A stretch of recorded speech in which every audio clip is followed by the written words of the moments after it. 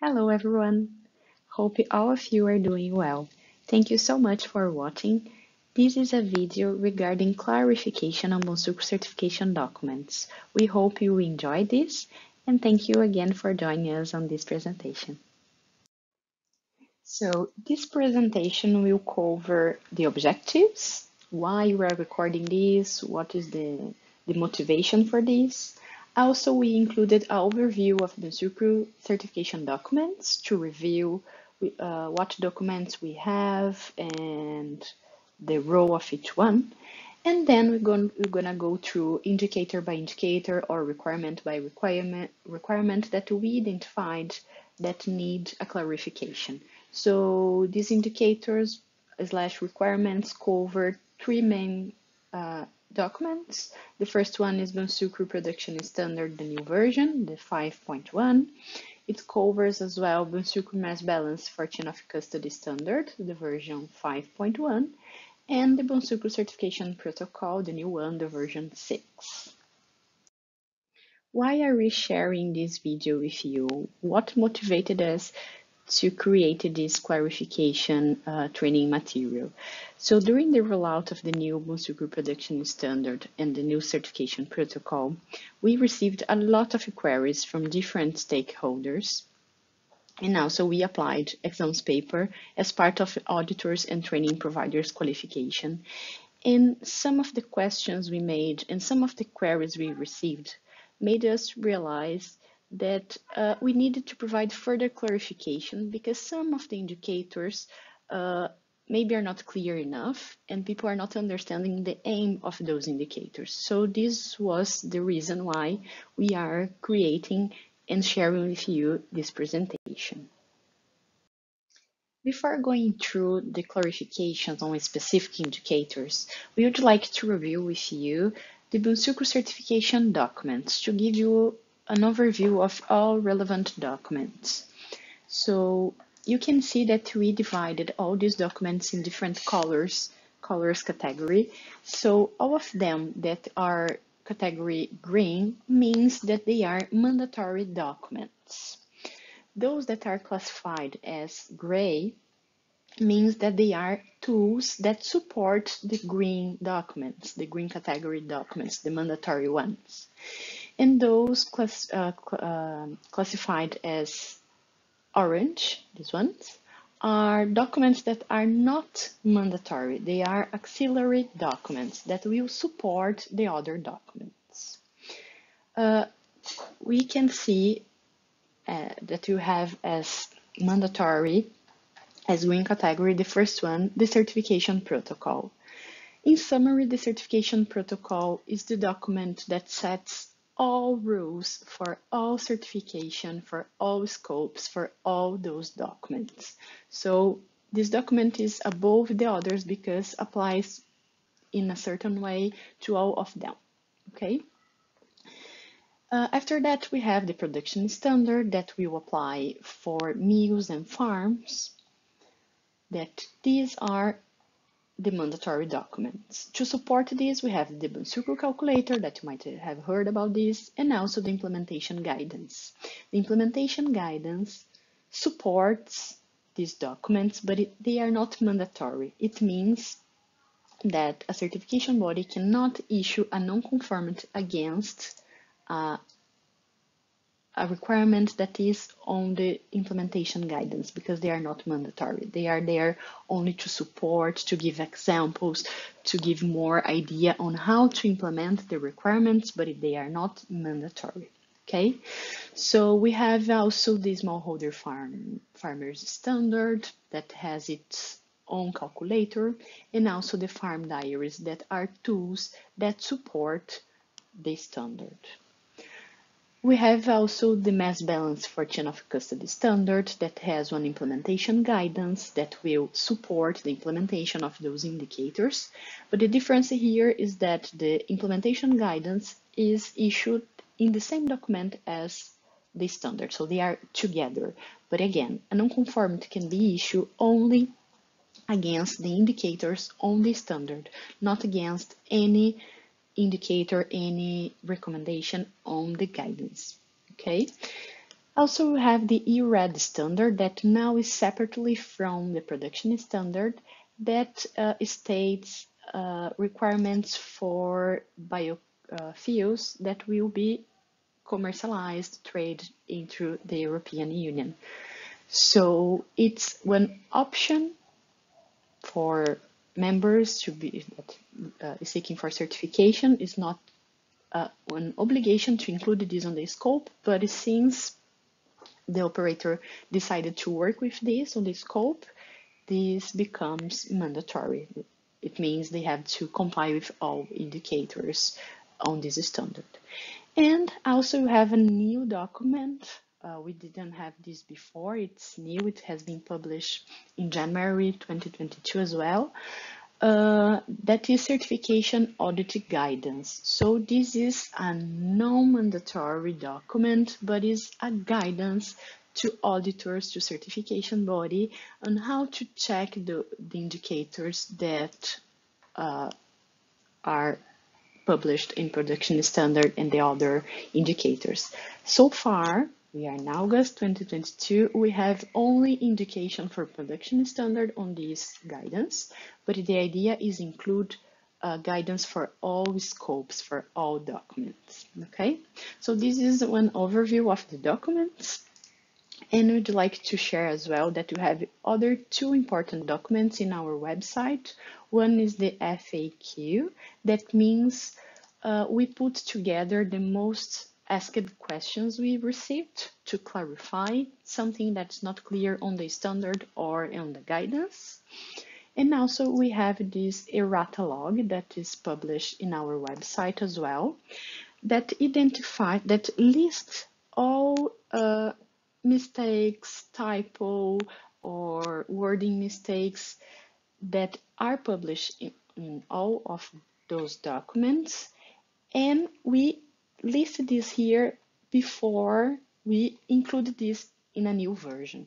It is because we cannot issue a new version of each document every week, for example. So we are concentrating all errors, mistakes, and items that need to be corrected in the pre in the next versions of the documents, and then we're gonna address this in the next uh, publications. After reviewing all documents that the Bonsucro certification system covers, we are ready to start with clarifications. So, as I mentioned before, we're gonna go through three main documents, and the first one will be the Bonsucro Production Standard version 5.1. The indicators that this presentation will cover are those on this list. Now we will review some indicators that are under the principle one. As I mentioned before, Bonsucro Production Standard has five principles, and now we will review few indicators that are under this principle one. We won't cover all indicators from this standard, only those that need some further clarification.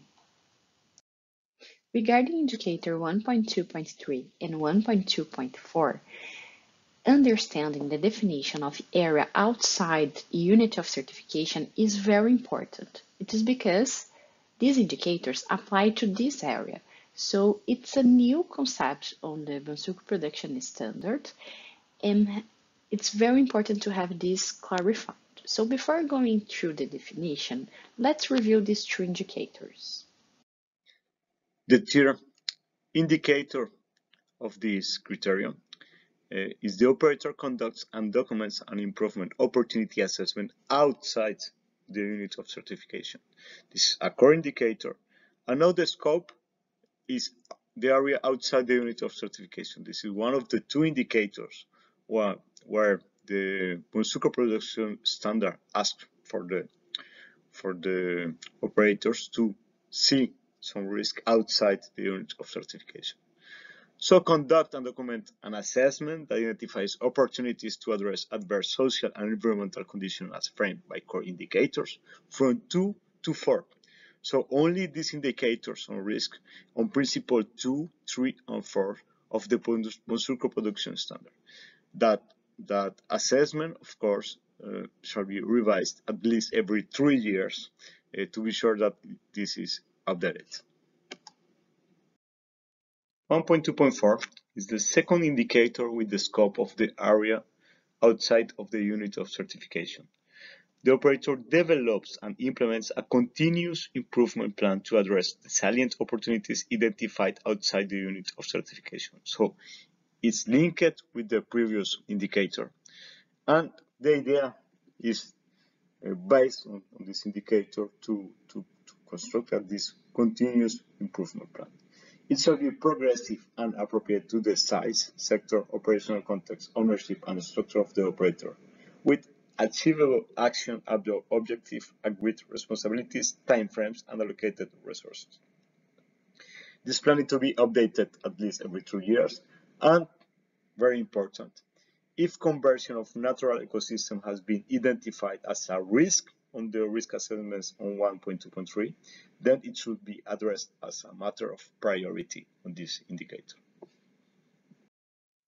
To understand what area outside the unit of certification means, let's have a look on this example.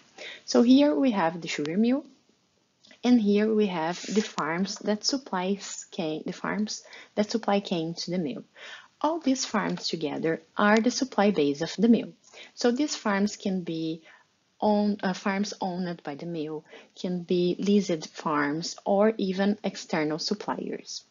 So the Bonsucro production standard do not require a minimum or maximum number of farms to be included in the scope of certification.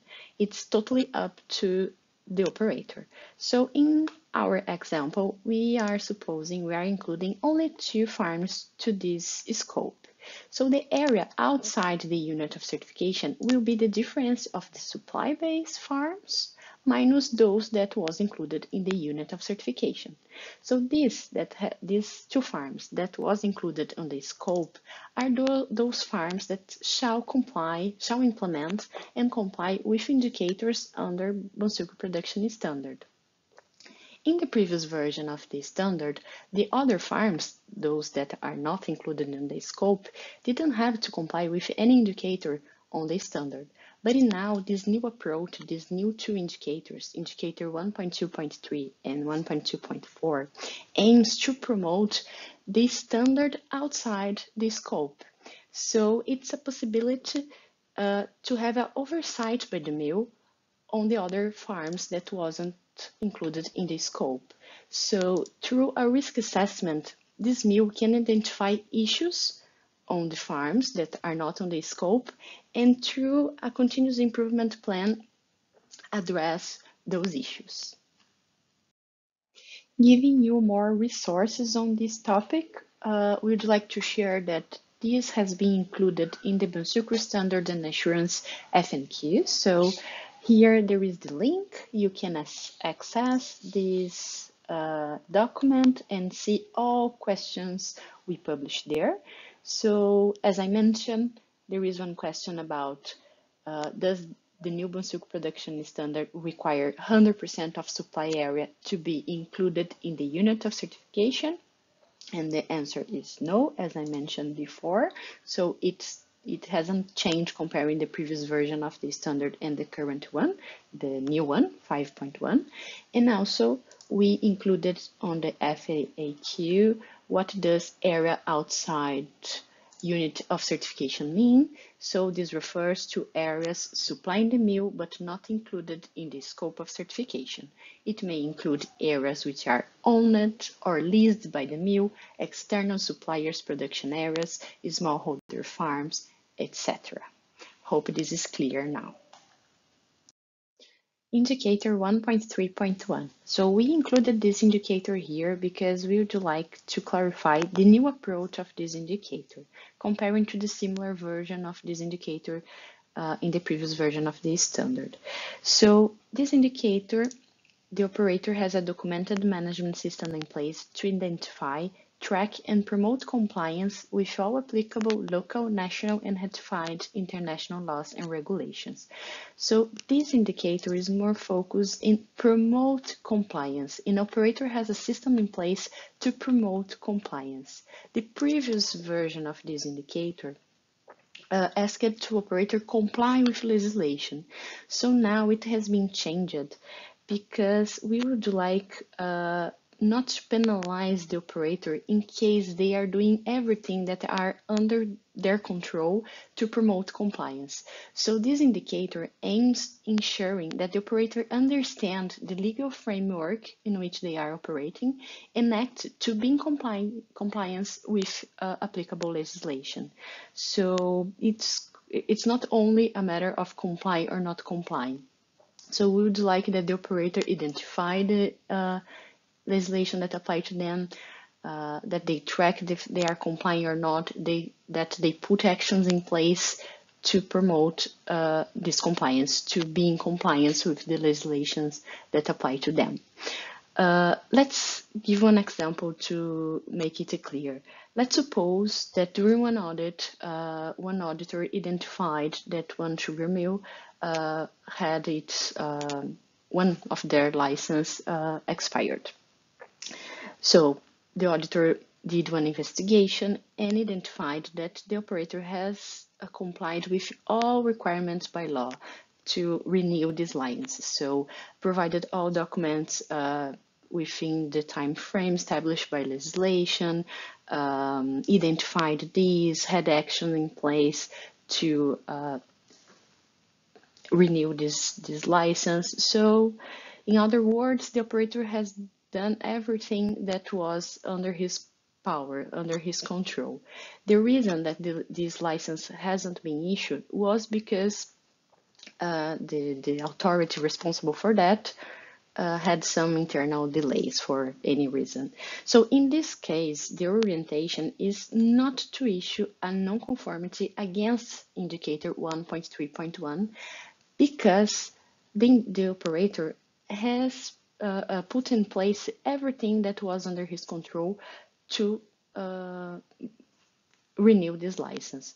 So this is the new approach. We are we are not we will not issue a non-conformity against this indicator only because they are not in, uh, complying with. So in this specific case, we want to issue a non-conformity against this 131 indicator. However, it can be, it might be a non-conformity against other indicators on the standard, depend on the situation, depend on the case. Okay, so this is the new approach of the indicator. Operator has to have a system in place to, to promote compliance. It means uh, put in place everything that are under their control to uh, promote compliance, to be in compliance with legislation. So in the next slide, we're gonna review this indicator again. The first indicator of this criteria, 1.3.1, the operator has a system in place to promote compliance with the all applicable local, national, and ratified international laws and regulation.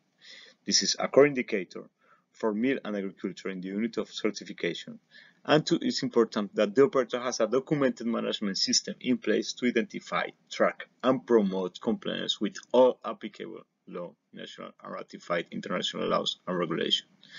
We'll see after how this system works.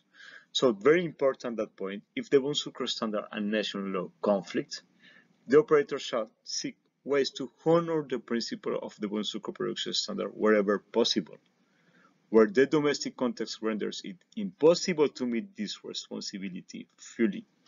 Operators shall respect the principle of the Bonsucro production standard to the greatest extent possible in the circumstances and shall demonstrate their efforts in this regard without contravening law, regulation, or even court decisions. So important in this point of view, uh, production standard uh, it a system to promote compliance with the law. If there is not possible, uh, the, the, or circumstances don't allow that, so the operator need to be clear that have the greatest extent possible in the circumstances they have. Indicator 1.4.2. The operator ensures that there is a mechanism to raise grievances. The reason why we included this indicator here is because we received a lot of questions asking what should and what should not be included in the grievance mechanism. So everything that is required by the indicator is written in this full indicator wording. Meaning, if it's written here, it is required, and if it's not written here, it's not a requirement. Okay, so everything we need to know regarding one indicator is written in the full indicator wording. But in summary, the grievance mechanism, uh, the operator shall establish and put in place a grievance mechanism, and this mechanism shall be accessible to all affected parties. So this is important to mention here. Also, this grievance mechanism shall be able to receive a dispute, complaining, and resolve those disputes. And also uh, ensuring that anonymity uh, happens when requested, not to put in risk those that are requ uh, requesting, are complaining, not to cause an intimidation. And another important thing related to grievance mechanism is that uh, the operator has to put a procedure in place for uh, this mechanism, for this grievance mechanism, and this procedure shall be understood by the affected parties. So it's not a matter to implement a grievance mechanism, but it, shall be understood by the affected parties. It means that they have to understand uh, how is the procedure to raise a grievance, what is uh, the time frame to receive an answer, uh, what they should be do, what what is involved in this mechanism. So this is very important. Be accessible to affected parties and as well as be, uh, be the system in place be understood by the affected parties. Now we will move on to principle two to review few indicators that are under this principle. Indicator 2.2.2, the operator ensures that working hours at farm and mill complies with national legislation. So this indicator is a core indicator and applied to the mill and the agriculture area included in the scope. So this indicator establishes the limit of hours of working hours allowed by week. It shall comply with national legislation. It means it will vary depending on the location the farms or mill are. Uh, so there is no limit. It shall comply with local legislation, with national legislation. However, in any case, if the workers work more than six hours per week, the operator shall conduct and document a risk assessment to ensure that excessive hours, working hours, does not compromise health and safety. So even if the legislation allows working more than 60 hours per week, the operator shall conduct this risk assessment to guarantee to identify if this exceed of hours do not cause any problem, any compromise on the health and safety of the workers. Also, it's important to say that uh, the workers shall also have at least one day off per week or two days off every 14 days worked. So if the employee works one whole week, seven days, uh, this work has to have one day off or two in two weeks, in 14 days.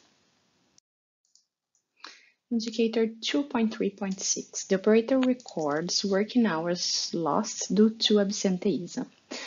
Uh, regarding this indicator, we received a lot of questions asking what absenteeism means, what kind of hours should be considered as absenteeism. So in this indicator, it's important to mention that all non-justified uh, absence is considered as absenteeism. So if there is one worker that it was uh, he, he she was supposed to go to work and didn't show up with no justification, it is considered as absenteeism.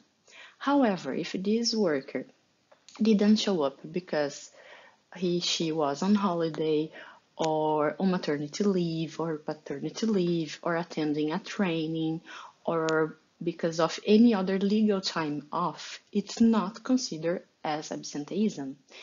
It's going to be considered as absenteeism all non-justified absence, including strikes. So if uh, the operator was expecting the worker to go and work in that day and didn't show up with no justification, it's, it is absenteeism. Let's move on to principle 3 of this standard and review a few indicators under this principle. Indicator 3.1.1 The operator ensures that yields of production are above the threshold set by the climate zone map. So this indicator will apply to the agriculture and the standard required will be will vary depending on the location of the production of the sugar cane. So it's going to require a minimum tons of cane per hectare, depend where this farm is located. So the most common error here is that uh, people don't know where to find this tool, the climate zone map uh, developed by Bonsucro. So here is the link that gives access to this tool. And in the next slide, we're gonna review a video explaining how to use this tool. So, in this video, we will see how the, the link for identify uh, the yield on the on the platform works. So I put the climate zone map in Bonsucro. Yes, you can see here. And now we can find that here we have the different climatic zones we can approach maybe to Colombia, South America. We can see the different climatic zones and we will find a place, let's say a farm close to Puerto Tejada. So we go here, we go search, okay, Puerto Tejada, Cauca, Colombia is here. Let's go. Now we have here the place. And we can find in the in the map for example a farm. Let's say that one. Okay. And I have that the the the, the farms are on, this, on these climatic zones. This is the more representative of course actually. And I can find that this is 11 the climatic zone 11 here so that's it so easy now we need to include that on the calculator the Bonsucro calculator to be sure that that information will be linked to my yields. I will repair my yields. Okay, thank you so much. Indicator 3.1.4 The operator shall conduct the harvesting operations efficiently. So the reason we put this indicator here is to clarify the standard required by this indicator. So you're going to have three different standards that will vary depending on the type of harvesting this cane uh, has.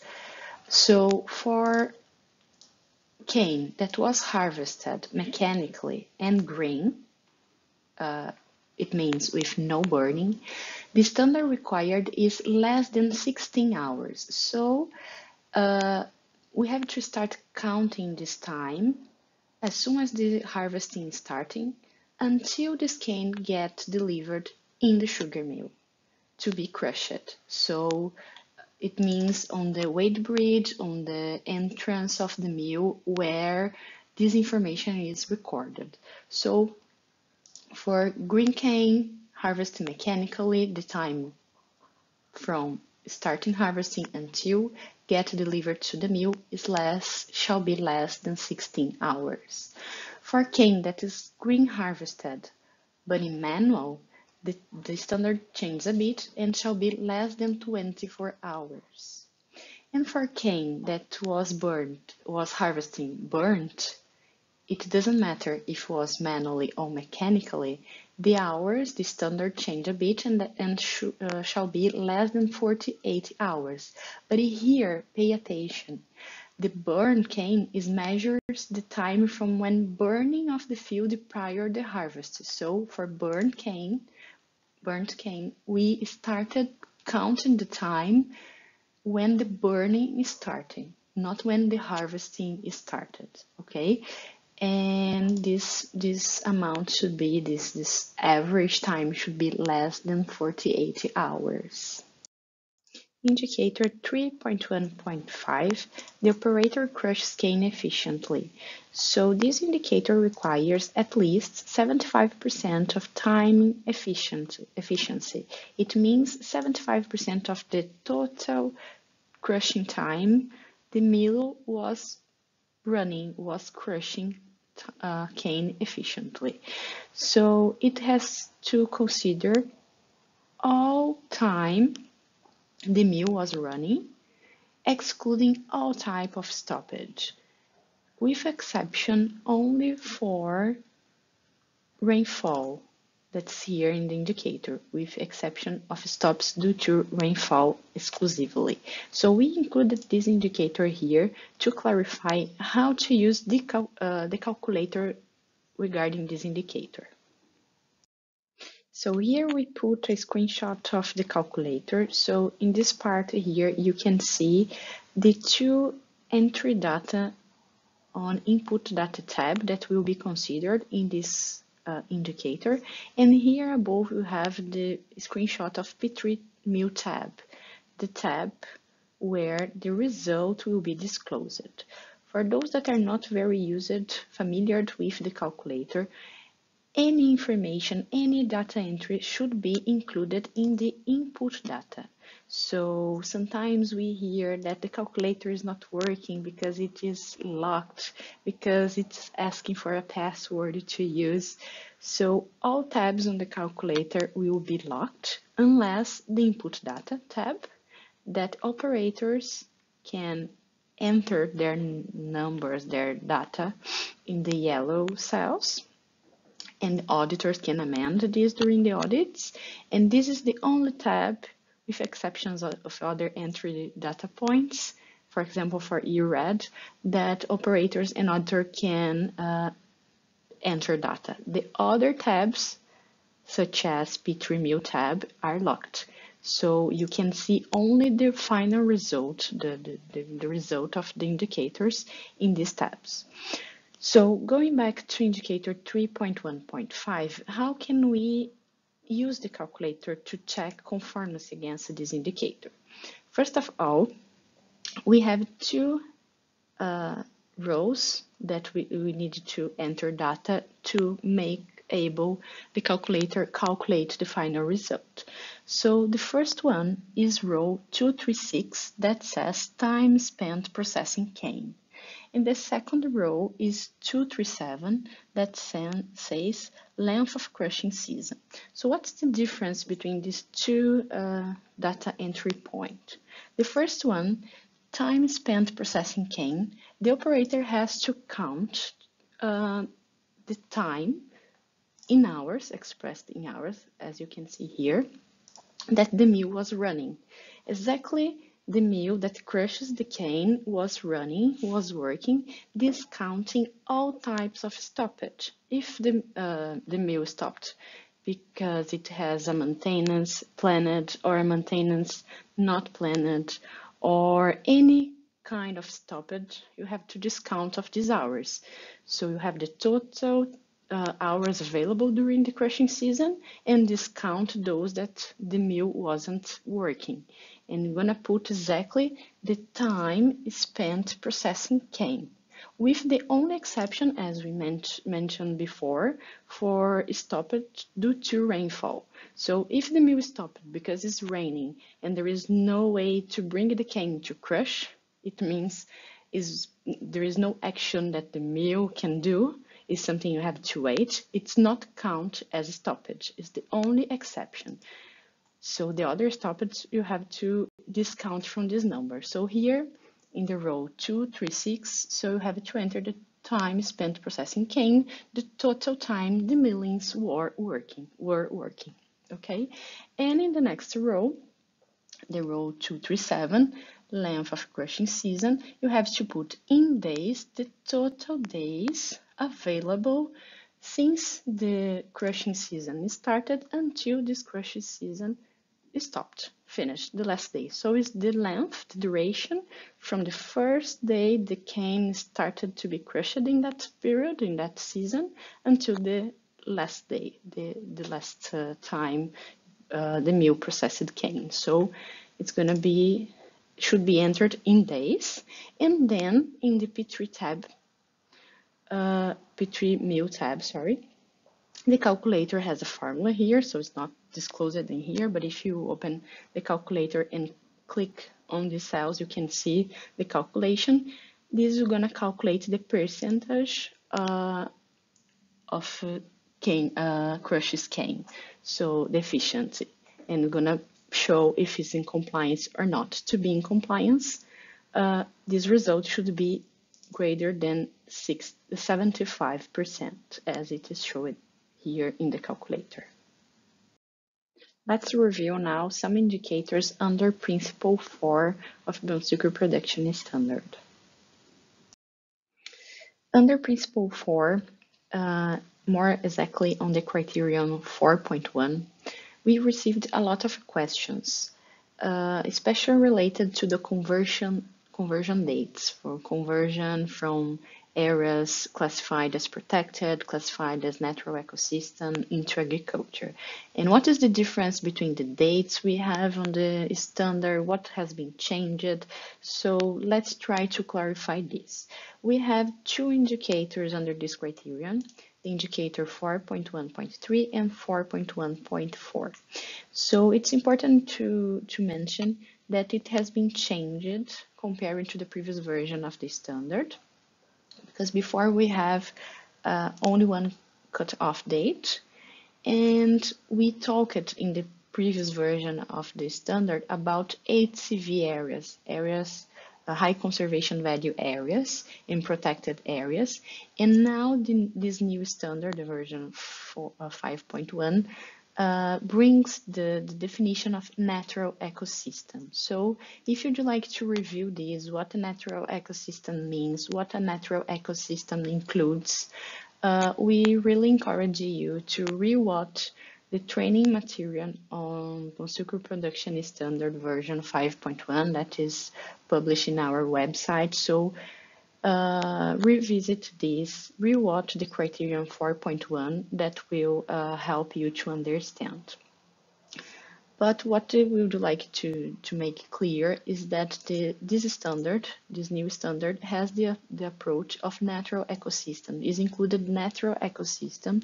So, and you have two indicators regarding this. The indicator 4.1.3 that the uh, conversion date is January 1st, January 2008, says that the operator ensures that no areas of natural ecosystem defined internationally or nationally as legally protected has been converted into agriculture on or after this date of 1st January 2008. And in the next indicator 414, we have that the operator ensures that no other areas of natural ecosystem have been converted to agriculture on or after 1st January 2021. So what's the difference, the main difference between these two indicators uh, apart from the date?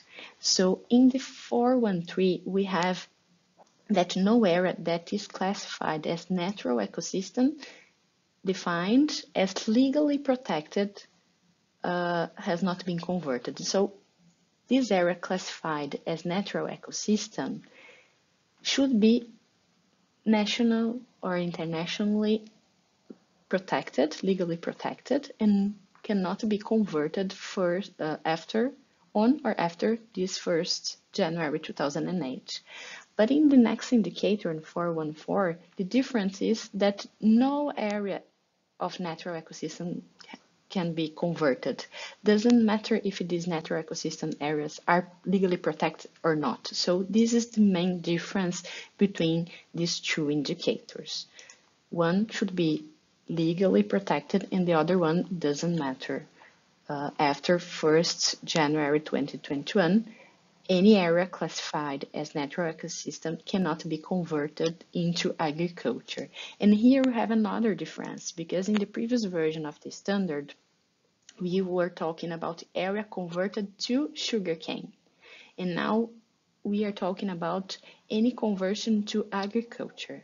It's not possible to convert any of these natural ecosystem areas into agriculture. Doesn't matter if you're gonna crop sugarcane or soybeans or any other crop. So it's slightly different.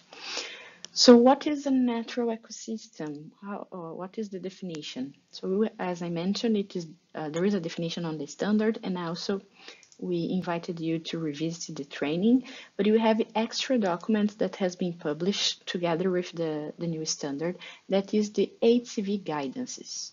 So we have four different guidances that will help operator implementing and understanding the criterion 4.1.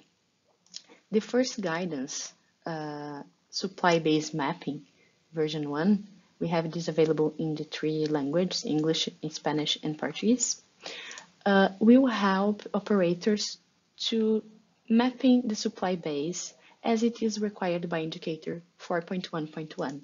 So here uh, in this guidance, operators will find how to mapping this supply base in, with regarding to biodiversity as well as identify uh, areas of natural ecosystem. So we really recommend you, strongly recommend you to have a look to read this guidance. We have the other three guidances as well. The guidance for developing a biodiversity management plan that's going to help operators to implement indicator 4.2.2 and then two different guidance, one uh, more focused on operators and one more focus on experts when the operator would like to expand the area with regarding indicator 4.1.5. So there is guidance here that helps operator identify if they can or not expand area. Okay, so we strongly recommend you to visit the, our website. So all these documents are published in our website through this link. You can have access and read all of them that will uh, help you to understand better uh, this criterion 4.1. And in the two next slides, I put again the explanation about these two different indicators, 413 and 414. Let's uh, watch this again. Now in 4.1.3, uh, the indicator says that the operator ensures that no areas of natural ecosystem defined internationally or nationally as legally protected has been converted to agriculture on or after 1st of January 2008.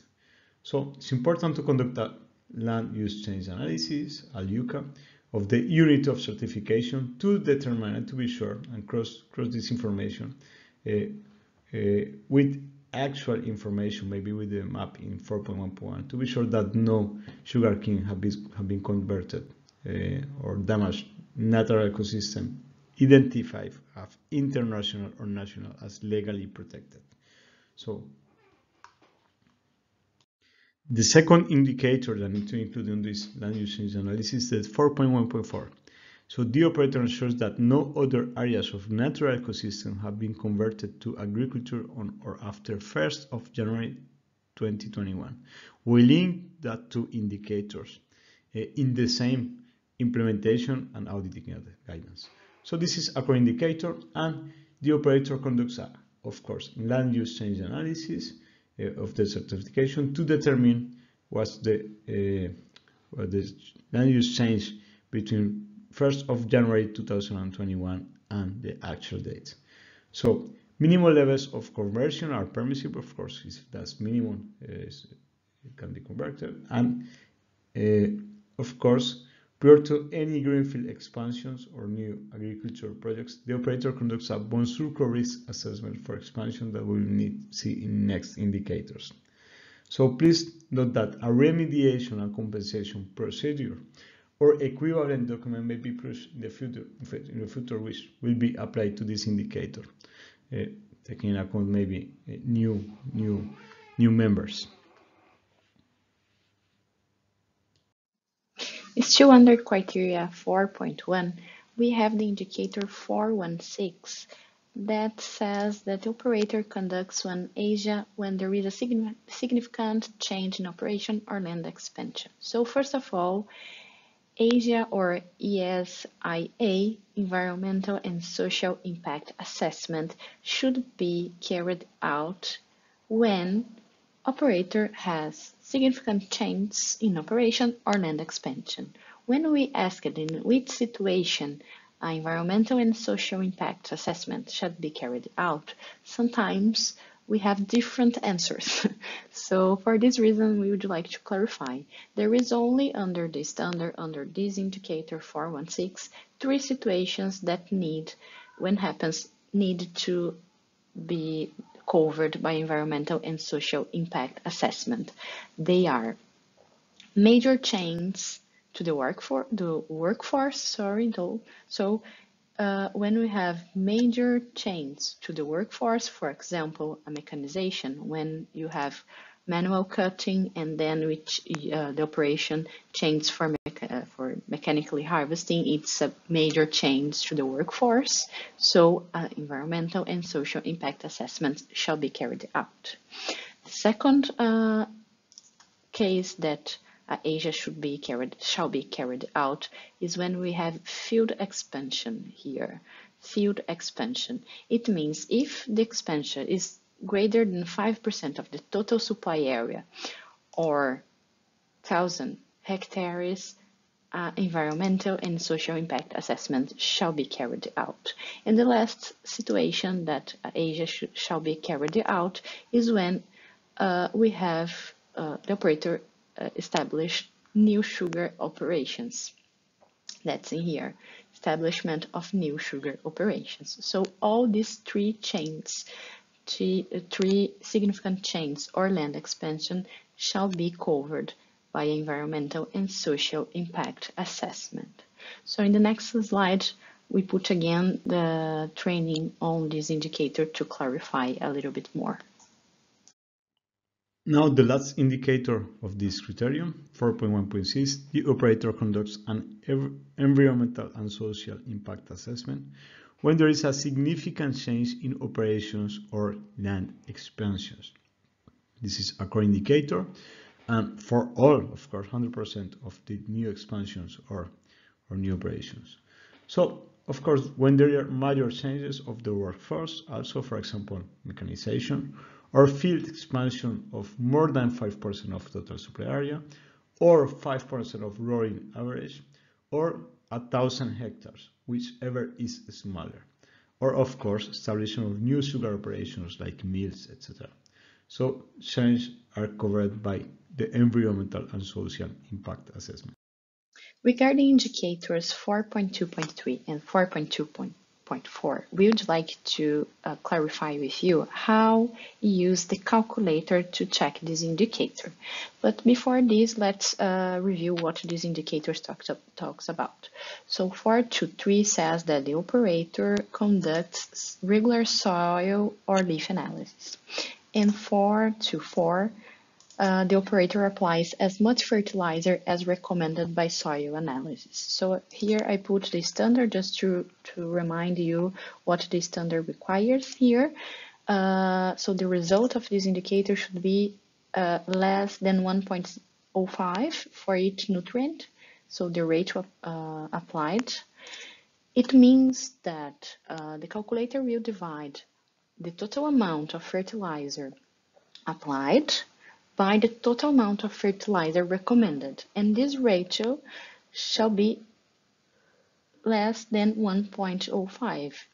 In other words, less than uh, you, you, we cannot exceed 5% of the recommendation of fertilizer for each nutrient. nutrient. So let's see how the calculator uh, calculates this and what what should the operator enter in the calculator to have uh, the result in compliant or not. So with regarding to the calculator, here we have the screenshot for indicator 4.2.3 and 4.2.4 under P4 Agric tab. So in these rows here, we have uh, the result, the calculation formulas and the result for 4 to 3. And in these rules, we have the information, formulas, and results for indicator 4 to 4. I put the two together because some of the information used for 2, 4 to 4 will be used for 4 to 3.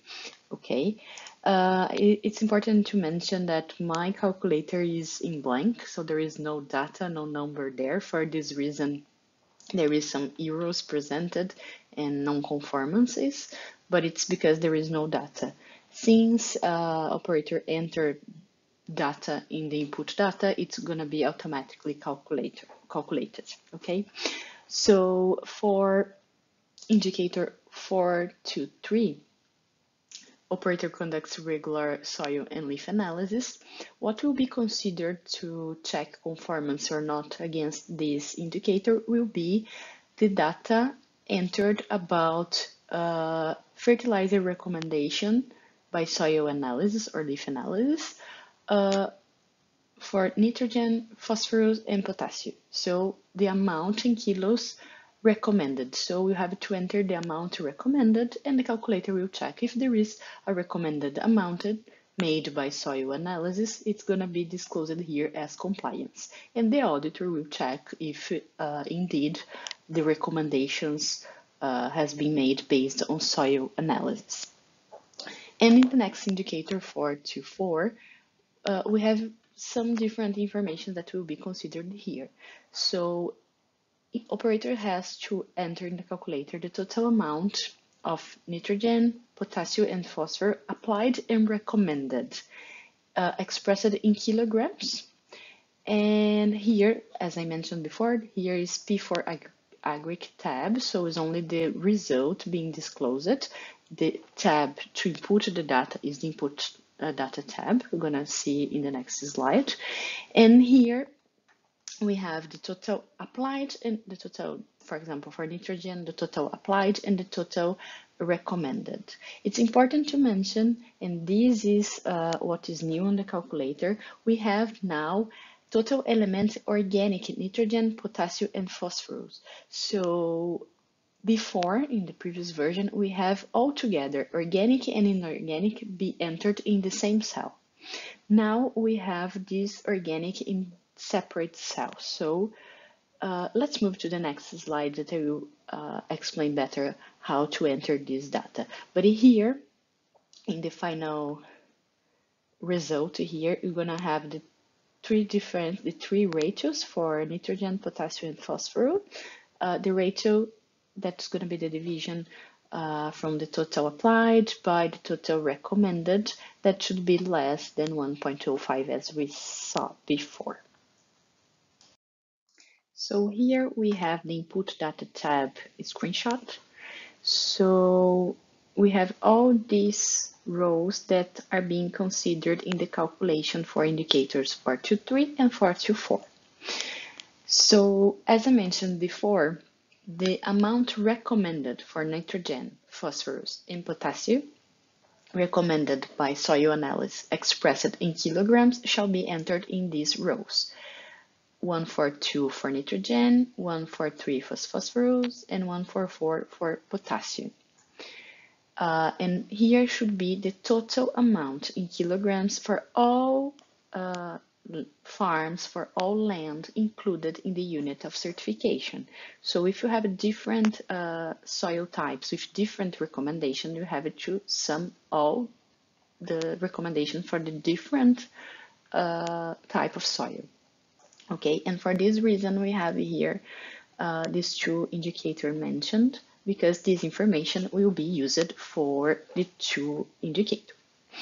And then we have the total element uh, nitrogen fertilizer applied, uh, phosphorus and potassium, the same. So you have, again, indicator have to sum up all amount of fertilizer applied. So here means inorganic fertilizer and sum up the different amounts for different types of soil. So in row 139, 140, and 141. And then here, that is new, we didn't have this uh, splitted before, now it is splitted 145, 146, and 147. We have to enter the total element organic, nitrogen, phosphorus, and potassium applied. Sometimes, what is uh, element organic?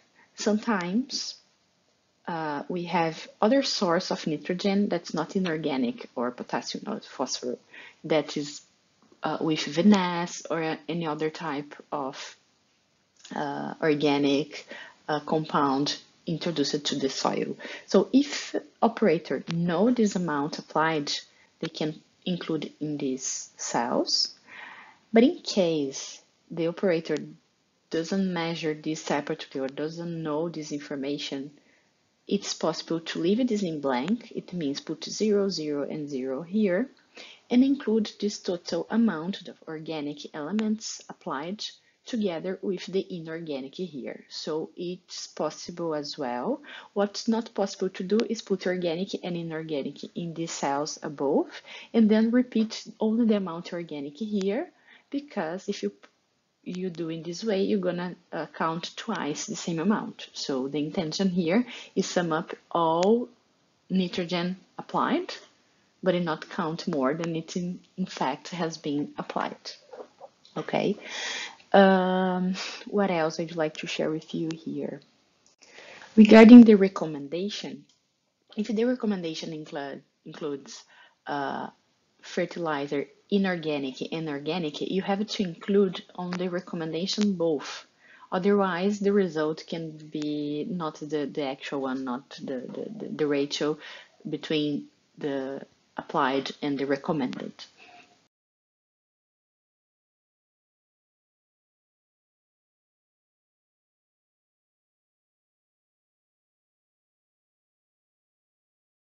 Another important uh, thing to mention here is regarding the element uh, phosphorus. So pay attention that when we are talking about recommended phosphorus, phosphorus uh, it's, it is expressed as P2O5. So the uh, amount in kilos that you have to include here is the amount of P2O5, okay? Then the calculator will convert this P2O5 recommended into P element recommended. So the amount to included here recommended is in regarding of P2O5. The same for inorganic P2O5 applied. We had to enter the amount applied expressed as P2O5 and then the calculator will, will convert to element P. So this is appearing here on this part of the calculator. But for organic element, for P, you have to enter this amount expressed as P, not as P2O5. Okay, so pay attention when you, you will enter the data into the calculator, what is P and what is P2O5, because it can make difference. Indicator 4.3.5, the operator maximize irrigation productivity. So this indicator is here because we to like to clarify how use the calculator for this indicator. But before going through the calculator, let's review this indicator. So the standard for that, so this applies only for agriculture, uh, and the standard for that is that uh, WPA should be equal or greater than WPO. What is this? What is WP or water productivity? It's a measure of how efficiently irrigation water is used to produce sugarcane. So WP is expressed as uh, a division by cane yield harvested in tons of cane per hectare divided by the net irrigation applied over the growing season. In other words, the volume of water. So it's a ratio, is a division from the productivity in the yield, uh, the yield of productivity in the field, like tons of cane per hectare divided by the volume of water. So we have two WP here to be compared. One is the actual one.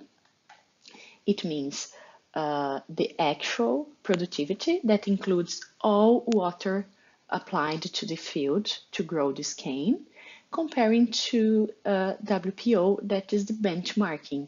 It means uh, uh, water productivity where no water was applied, only the rainfall, only the rain over the period of this uh, cultivation. So the result should be that the actual one should be uh, shall be sorry uh, equal or greater than the benchmark one. Okay, let's move to the next slide to see how it is considered in the calculator.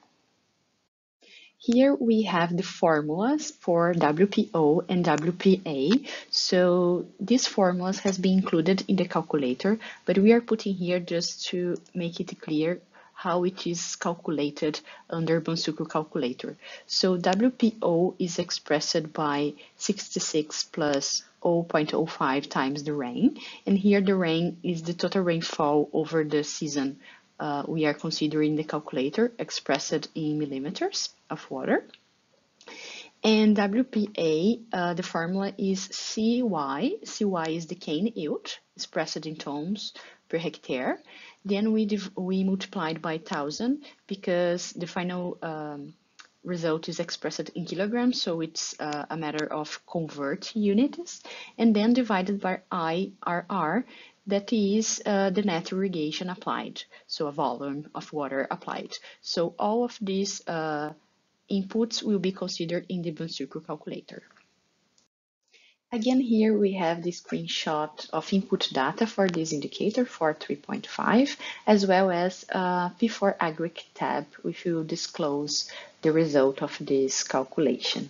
Again, here my calculator is in blank. There is no data entered. For this reason, there is no result.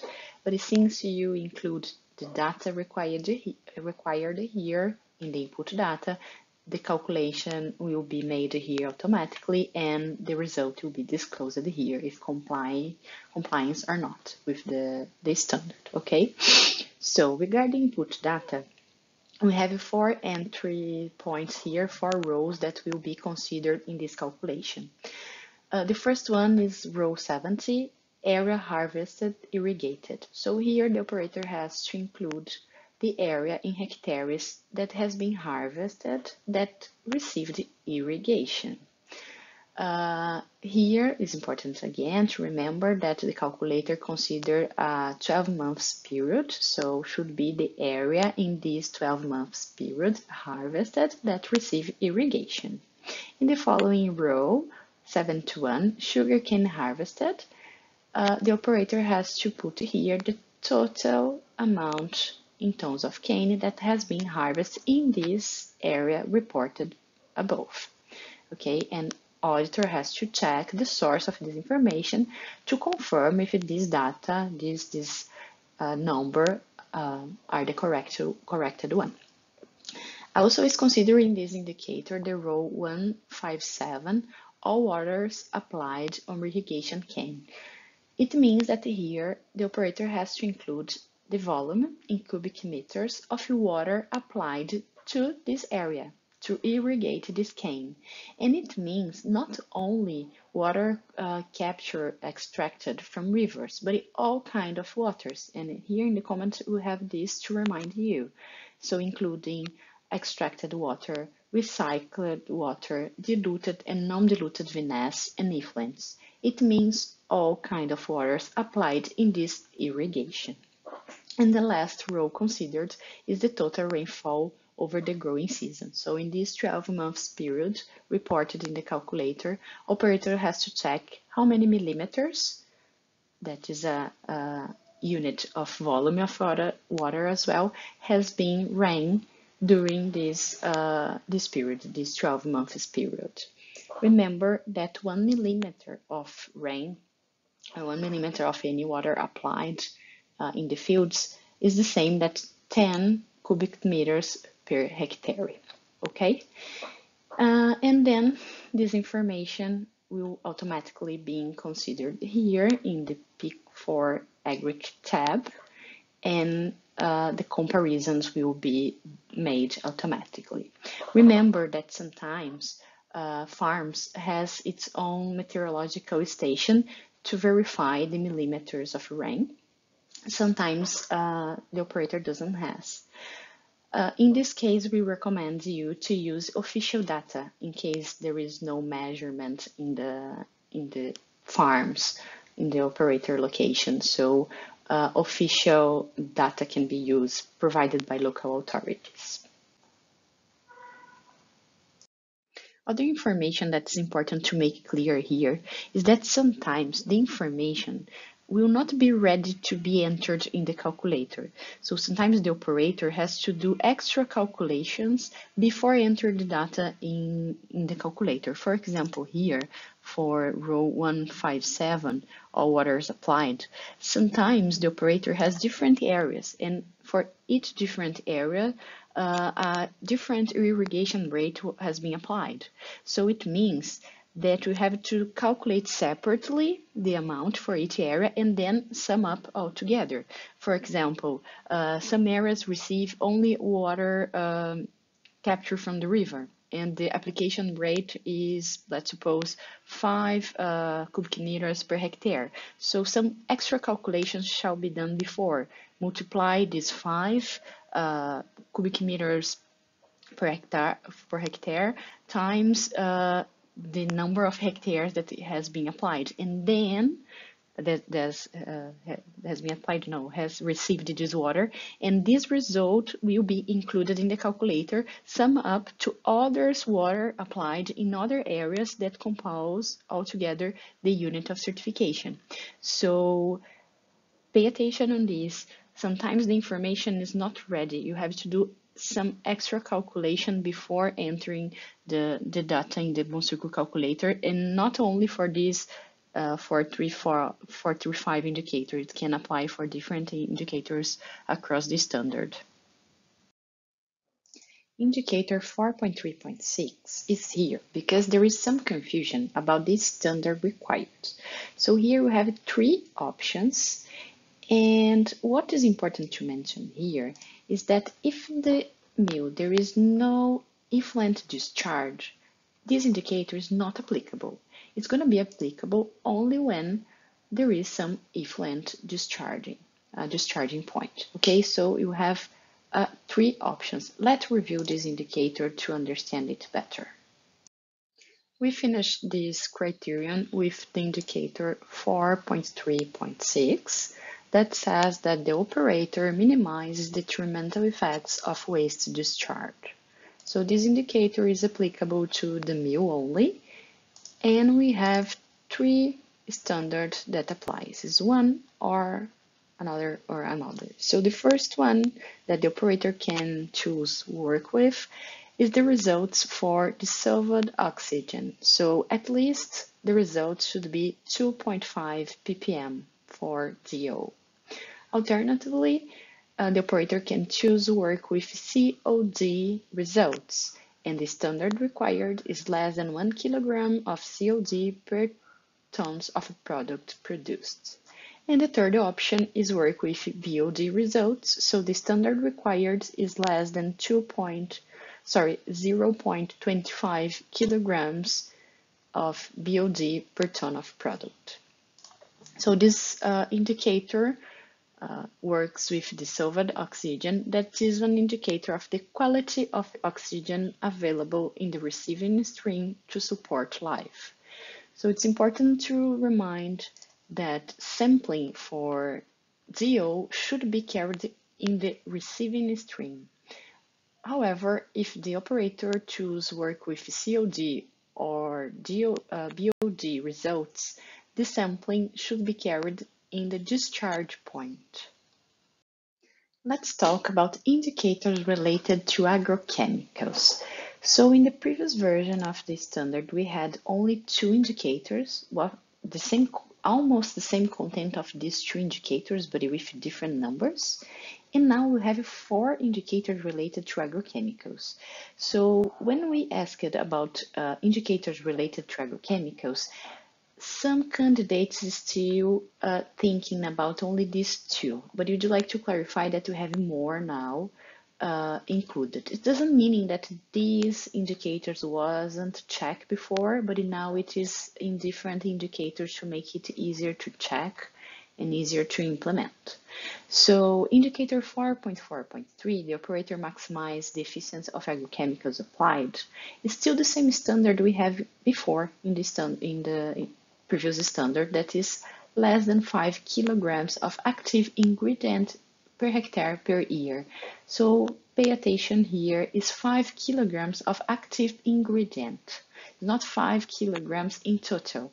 So operator, before enter the data in the calculator, has to consider to calculate only the amount of active ingredient applied, okay? Uh, also, we received some questions related to which kind of products shall be included here. If some adjuvant, any other um, chemicals that helps in the application of the agrochemicals shall be included? And the answer is no. Only those that have active ingredients shall be considered in this number. The next indicator, 4.4.4, the operator only applies legal and safe agrochemicals uh, it means that there is a list of banned agrochemical that cannot be used. Pay attention that this has been changed. The list of agrochemicals uh, included in the standard has changed changed a, a little bit. Uh, some remains and some are new. So we're going to talk a little bit further about this soon. And you have two more indicators. 451, the operator safely manages storage facilities and disposes safely of chemicals, fuels, lubricants, and other hazardous materials. So the standard is 100%. All of those uh, products shall uh, be safely managed and stored and disposed. And 452, the operator trains workers on handling and correct use of farms chemical, fuel, and hazardous materials. As I mentioned before, it was covered before in the previous version of the standard, but, but now it's clear in, in a indica uh, separate indicator. Regarding indicator 4.4.4, the operator only applies legal and safe agrochemicals, uh, we included this indicator here to show you what are the lists of uh, active ingredients that are not allowed by this indicator to be applied. So we have different lists here comparing to the previous version of the standard. So some of the lists is still the same, but we included uh, three new lists of agrochemicals of active ingredients that are not allowed to be used. So we have a total of seven lists and three are new. And what to do in those cases that there is no other alternative than the banned agrochemical to be used. So sometimes in some countries there is no other uh, active ingredient allowed to be used, only the banned one. So in these cases, uh, the operator has to carry out a research showing that there is no other alternative, no other chemical or non-chemical uh, uh, controls or alternative to be used. In those cases, this will be allowed.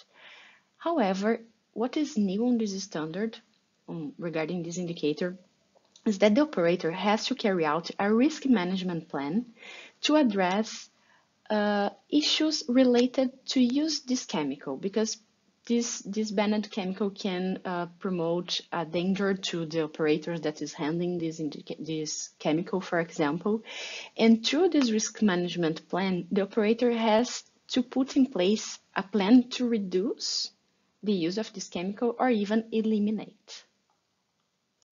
Now we will review Principle 5, the last one of this standard.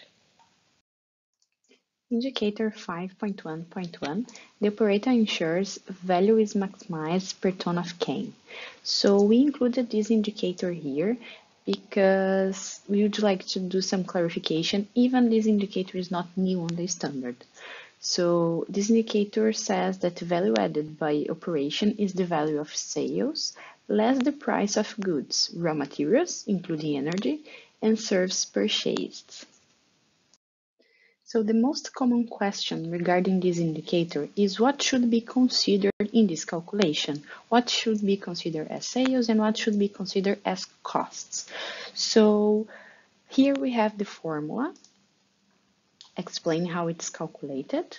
But remember that value add added is not the same as profit. So the, the, the way of calculation of value added is not the same, it won't be the same as profit is calculated.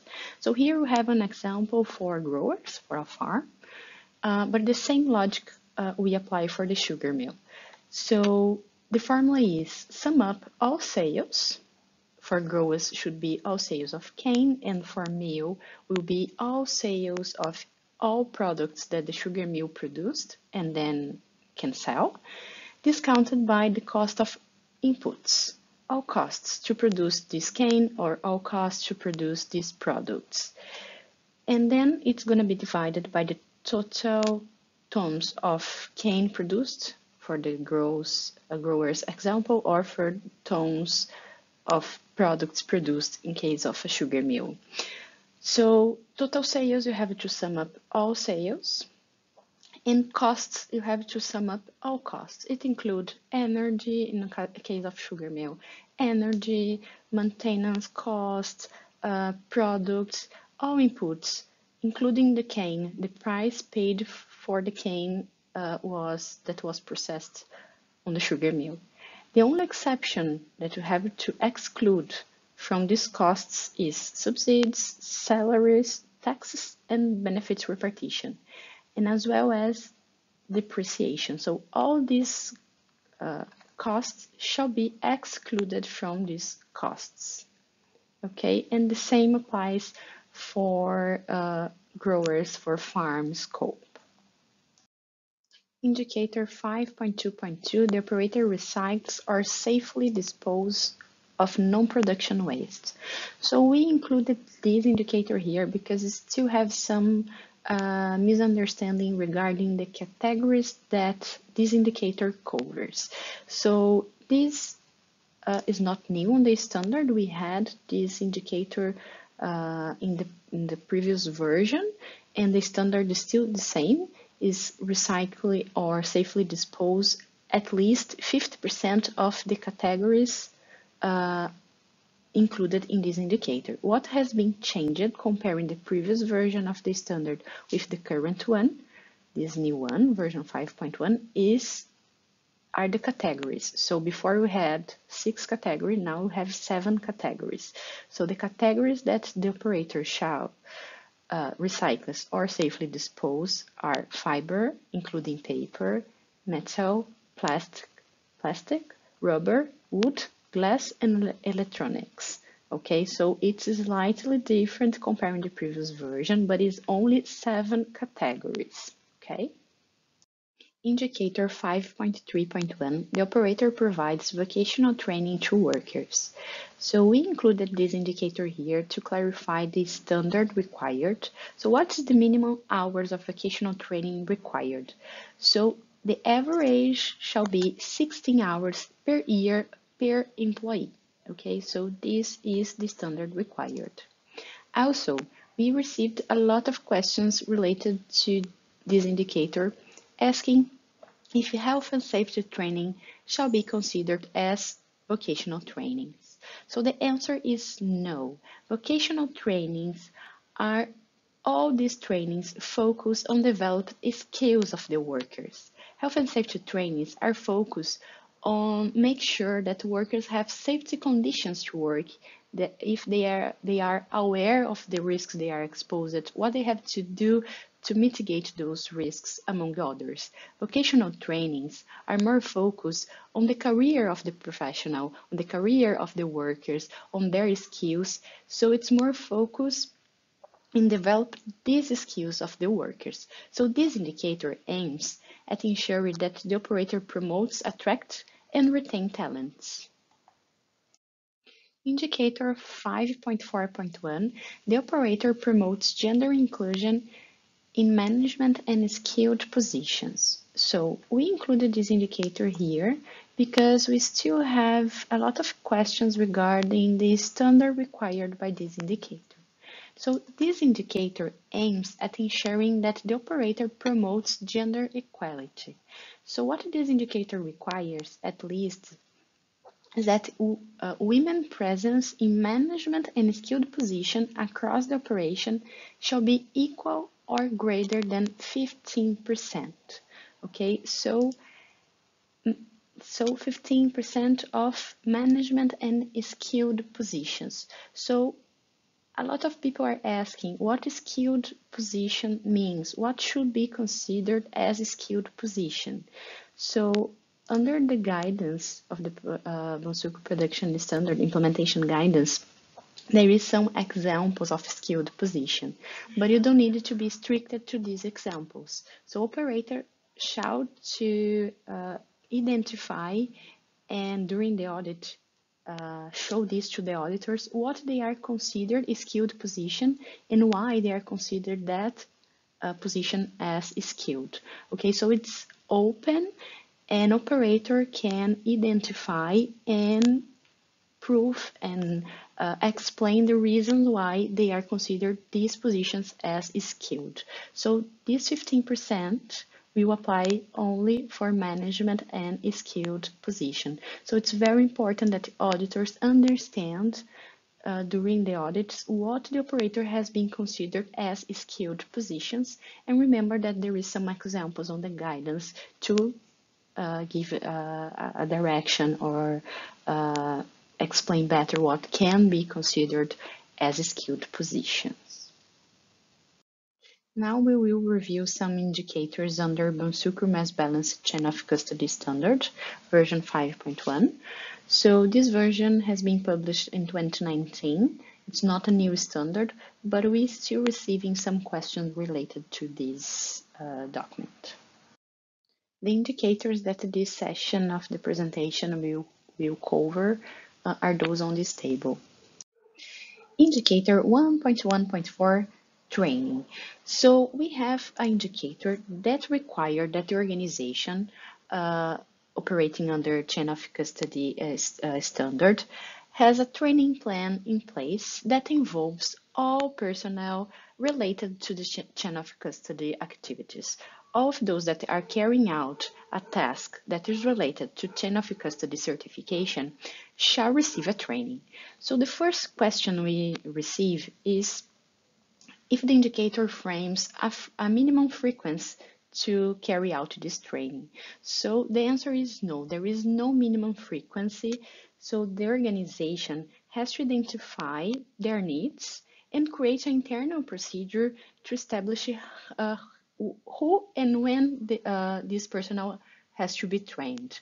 So, for example, you can include uh, when new people joined or new people are carrying uh, carrying out tasks related to the chain of custody standard uh, certification, or if there is an actualization, a new version of the standard, or even establish a frequency of refresh training.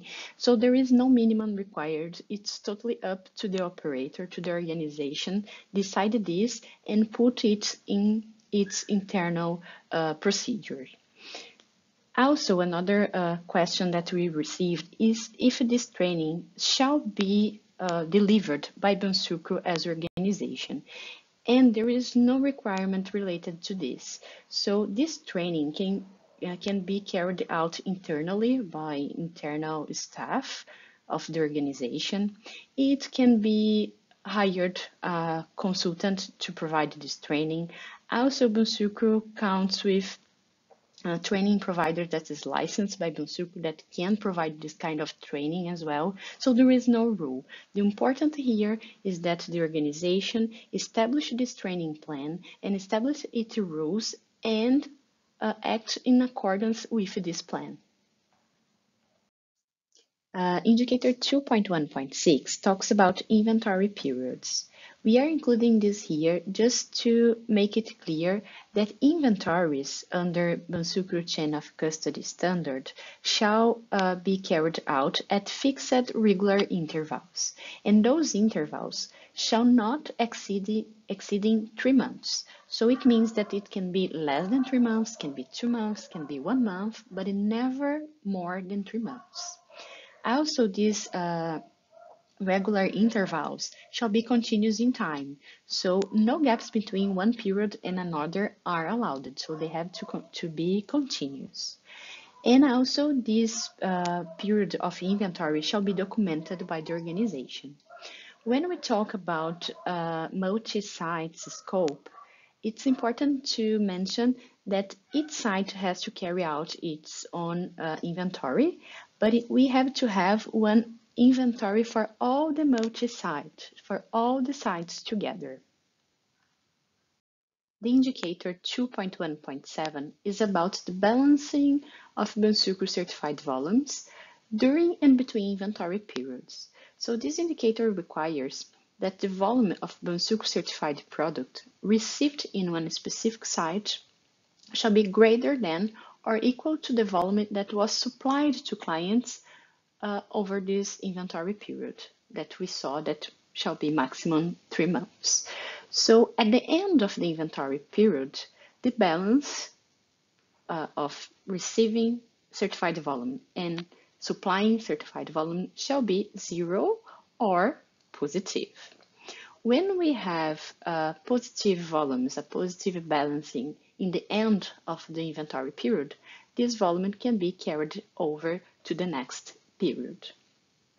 Another important uh, information to be clarified, we received a lot of questions regarding this, is if it's possible to be negative during an inventory period. Let's suppose that, that we have a three months inventory period and before finishing these three months, is it possible to be negative on the balance? And the answer is yes, it is pos it's possible. However, uh, the operator, the organization, shall cover this negative volume by the end of the inventory period. So it's not possible uh, end the inventory period with negative uh, balancing. It must be zero in the end or positive. And when we talk about multi-site certification, it's important to say that this balance shall be made for all sites together meaning that if you have a shortage of uh, volume in one site, it can be offset by a surplus of another site. So here we have an example of a multi-site scope uh, that we have a head office and two sites, two factories, one in Mexico, site A, and site B in Canada. So here we have the in and out for uh, site A. So in this case, we have 200 uh, tons of volume received and no volume uh, supplied for clients. And here, regarding the site B, we have no incoming, no, uh, the site didn't receive any certified volume, but it have 100 tons of volume out, means uh, sold to clients. So what we are talking about when considering a multi-site scope is that we can consider uh, this inventory for all sites together. It means the inventory periods must be consolidated into one balance. So here we have this one balance for the two sites. We have all purchase for all sites and all sales. In this case, in this example, in this three, let's considering that this multi-site works uh, with inventory checks every three months. So here we are considering three months period. So these two sites received 200 tons and sold 100 tons. It means that the group has a balance, this multi-site has a balance of 100 tons of a product. Okay? It's important to say that multi-site scopes apply for sites under chain of custody scope, for example, refineries, storage facilities, and any other factory that use any derivatives from sugarcane in, uh, in its uh, formulation. Multi-site scope is not allowed for sugar mills, so sugar mill has to be certified uh, individually, not in a multi-site scope. Now we will review some items under Bonsucro Certification Protocol version 6. The sections and requirements to be covered in this part of the presentation are listed in this table. Closing meeting. So session 17 on certification protocol uh, brings everything that shall be covered by the auditor during the closing meeting. So we are including these uh, session here to show you where you can find this information under Bonsucro certification protocol. So the issue is not what shall be covered, but more related to where to find this information. So Bonsucro certification protocol brings a lot of information regarding our certification system and session 17 brings everything that shall be covered uh, during a closing meeting. Here we have very important information to share with you that is regarding conformity level grading. So you can find more details on session 18 of certification protocol version 6, but it's basically uh, about conformity level grading. So which kind of conformity one indicator can receive, all right? So let's start with production standard. And here when we talk about production standard, it includes the smallholder standard as well, okay? So as you know, Bonsucro production standard has core and non-core indicators. When we are talking about core indicators, we have different types of conformity uh, applicable. This one, one core indicator can receive a conformity against him, against it, against it a incidental nonconformity, a systemic nonconformity, or observation. So this is new. Before we had different approach. So we don't talk anymore about major and minor nonconformity. So you have you can have a conformity against an indicator, an incidental nonconformity, a systemic nonconformity, or one observation when we are talking about core indicators. If we are talking about non-core indicators, we have only three classification. This indicator can receive a conformity against, a non-conformity, or one observation. And when we talk about a chain of custody standard, we have again only conformity, non-conformity, and observation. It means that incidental and systemic non-conformity applies only to core indicators on Bonsucro production standard that includes the smallholders uh, standard as well. And what are the difference between one incidental nonconformity and a systemic nonconformity? So here we have the definition that is published in the certification protocol, but it basically uh, both of them can be issued against a core indicator. So core indicators on the production standard are those that the operator has to comply with 100% of them. Uh, it was it has been created because there is different realities among all operators. And sometimes we can find a nonconformity against a core indicator. That is something isolated, one uh, isolated event, something uh, limited in time.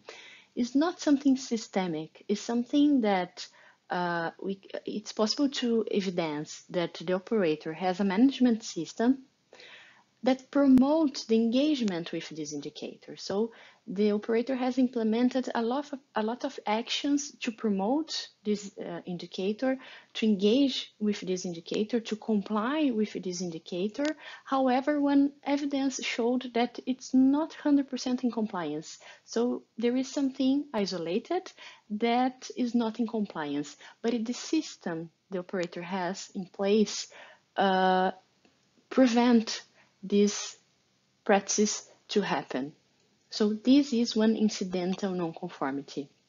When we talk about systemic nonconformity is when uh, there is no compliance with this indicator, but there is no management system in place. So meaning that the operator doesn't uh, are not engaged with this indicator. There is no actions implemented to comply with this indicator. It's not something uh, isolated. It's something systemic, and for this reason, we classify this as systemic nonconformity. And what is one observation?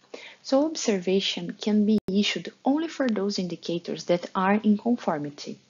Observation doesn't mean non-conformity. So conformity shall be established.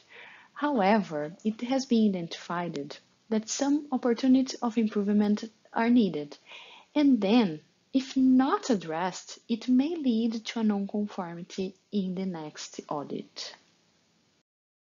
The next item that we would like to, to make some clarifications is regarding certification decision. So we realize that we still have a lot of misunderstanding uh, regarding the certification decision process. Who is the responsible to make this decision? What shall, shall be taken into consideration? And for this reason, we included this here. So everything related to certification decision is covered in the section 20 of the protocol. And basically the person responsible to make the certification decision is the CB technical manager. The CB technical manager shall base his decision, her decision, on the recommendation of the lead auditor. So the technical manager shall review all evidence reported by the audit team through the audit reports, check the recommendation of the lead auditor if the lead auditor are recommending this uh, organization to be certified or not. And also the technical manager, the CB technical manager, uh, shall make this final decision uh, providing that nothing has come to his or her attention that cause him believe that there are errors in the evidence collected by the audit team. So they have to be sure that evidence collected are uh, the corrected ones. And based on that, the CB technical manager can uh, make the certification decision.